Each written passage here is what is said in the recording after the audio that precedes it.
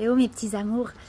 Je voudrais aujourd'hui te parler d'excitation, de gratitude, de ces fréquences qui t'amènent à être un aimant, à, à merveille. Euh, on me disait, je, pensais à ça tout à l'heure parce qu'il y a, il y a une dame qui me disait, ah, Laetitia, ton excitation là, elle me, elle me rend envie, euh, elle me fait comprendre à quel point euh, on peut tout créer, tu m'inspires. C'est cette excitation-là que tu veux aller chercher en toi. C'est cette excitation de savoir, pas d'espérer que tes rêves vont se réaliser, mais de le savoir.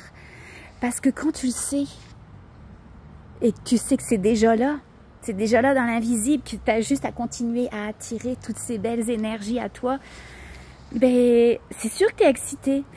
Et euh, il y a quelqu'un qui me disait, oh bah c'est normal, euh, quelqu'un qui, qui, a aussi immigré en Floride, tu vas voir, moi aussi j'étais excitée au début et puis euh, tu vas voir, ça passe.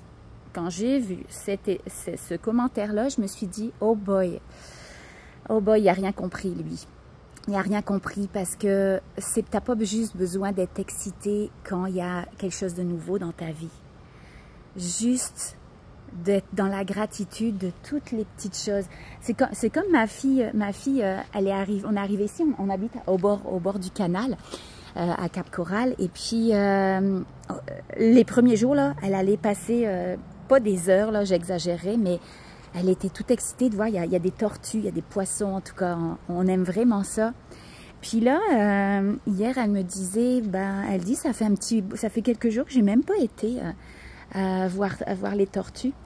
Et euh, elle avait comme perdu ce, ce, cet émerveillement parce que ça, elle prenait comme l'habitude à, notre cadre de vie. Et puis, euh, il faut pas perdre cet, émerveillement en toi. Puis, tout simplement de fermer tes yeux puis d'aller te reconnecter à, à ce que tu ressentais au tout début. C'est quoi qui t'émerveillait?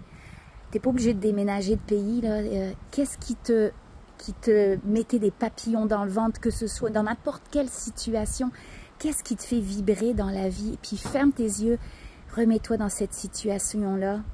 Souviens-toi en imaginant les odeurs, les images que tu avais perçues à ce moment-là, les, les, euh, les bruits, les sons, les sensations que tu avais dans ton corps reconnecte-toi à ça et active cette énergie-là de gratitude, d'émerveillement tout le temps. T'as pas besoin d'être euh, juste moi d'avoir des, des j'ai trois merveilleux enfants, juste ça la vie.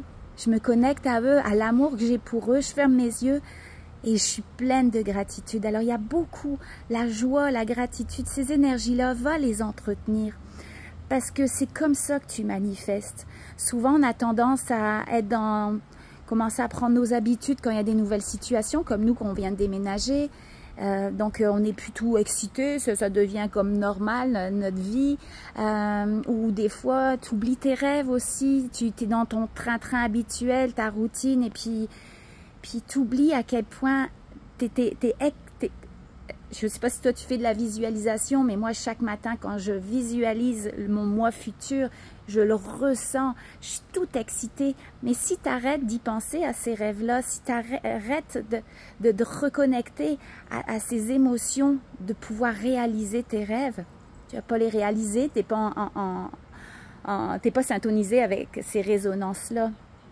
Et c'est ça la vie. Souvent on est high, mais il y a un moment, ça s'arrête. Ben, les moments, euh, c'est sûr, c'est toujours contraction, extension, euh, attraction, répulsion. C'est la loi de la nature, c'est la loi de l'univers. Mais c'est important que quand tu montes, tes énergies montent, te porte descendre trop bas. Oublie pas ces énergies-là et continue à les entretenir. Je te fais des gros bisous. À bientôt.